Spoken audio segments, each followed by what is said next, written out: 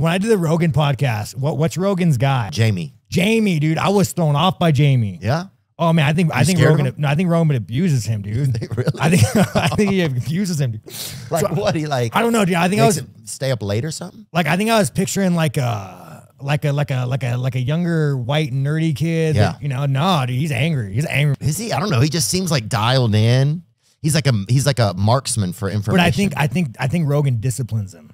Ooh, you think? Yeah, because you'll see it, dude. Every now and then Rogan will let that shit slip. No, no, no. It's a, it's a, like a. It's weird. It's Uh, yeah. sort of like an ellip, Sorry.